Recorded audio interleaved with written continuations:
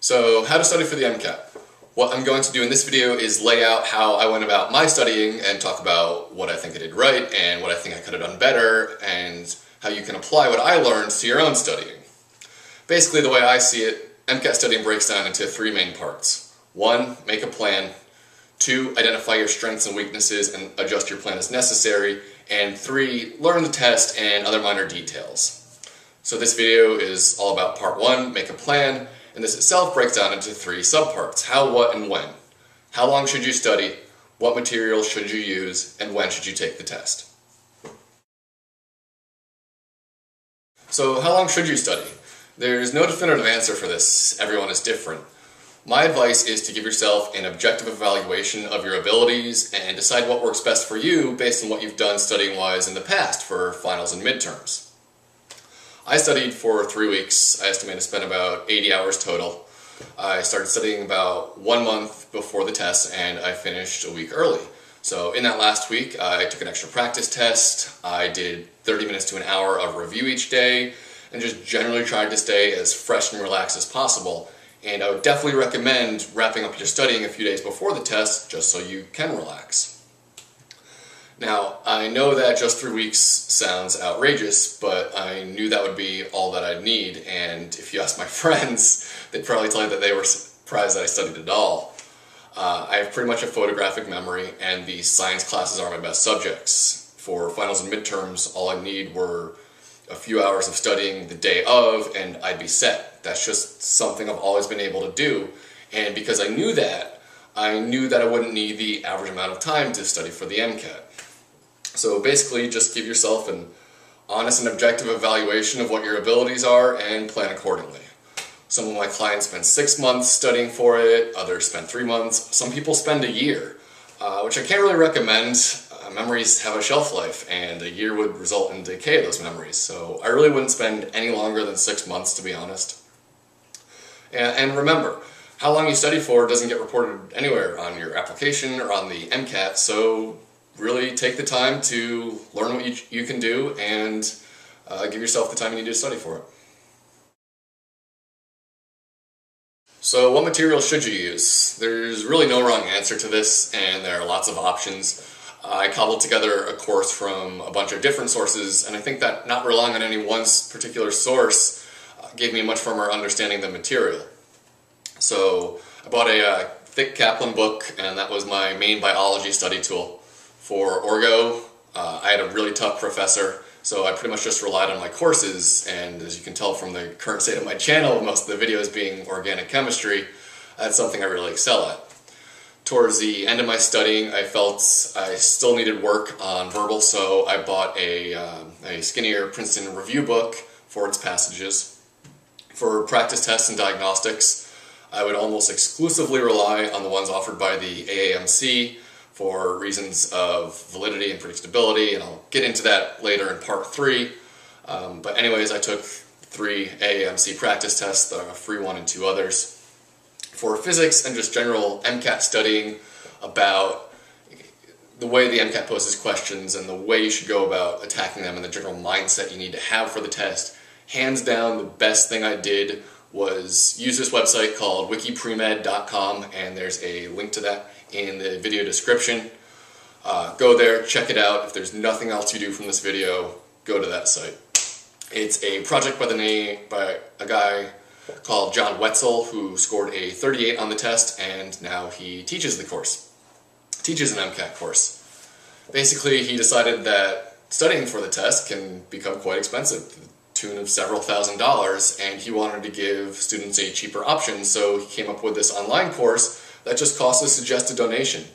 He has videos and flashcards and problem sets, and he's actually linked his course with uh, Examkrackers, which is something I didn't do, but I can only imagine it would make your understanding of the material even better. So yeah, it's, it's phenomenal, and I would definitely go there and, check it out. So to sum up, basically just choose one main source, be it Kaplan or Examkrackers, WikiPremed, or whatever, and then choose an alternate source, my channel. Um, just hearing things from a different voice is sometimes all you need to understand it a little bit better. So if you find yourself struggling to understand a, a particular topic, turn to your alternate source. So when should you take the MCAT? There are two main considerations for this, course load and the med school application cycle.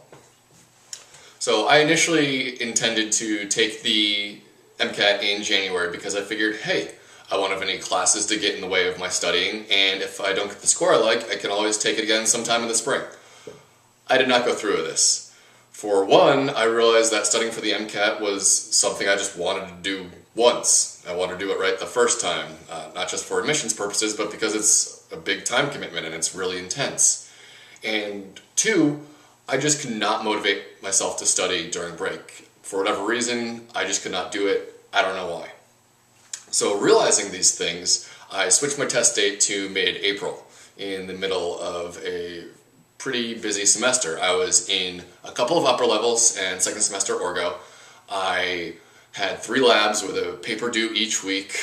So glad when that semester ended, three papers a week. Uh, I was coaching youth softball. I was taking care of my stepkids and doing all their kid stuff, homework and parent-teacher conferences and clubs. And I was still squeezing in some leisure time for myself, like running and biking. So needless to say, I was really busy, which I think a lot of people would try to shy away from during their MCAT studying, and that's fine that gets back to my point about really knowing yourself and giving yourself an honest evaluation.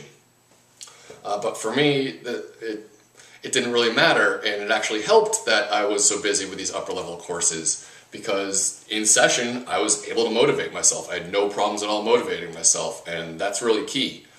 Uh, the upper levels I was in, genetics and biochem, while not explicitly required on the test, do help. They appear pretty frequently on the MCAT. Um, I actually had an orgo test two days before the MCAT, but I figured, hey, I need to know this stuff for the MCAT anyway, so does studying for it really matter?